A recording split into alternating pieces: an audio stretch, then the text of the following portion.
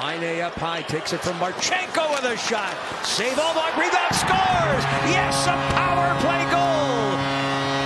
Krill the thrill, Marchenko, and it's 4 nothing. It's all smiles on the power play. Keep an eye on 38, Boone Jenner. Everyone knows this shot's coming from line 8. Jenner, screen, and then keeps that play moving.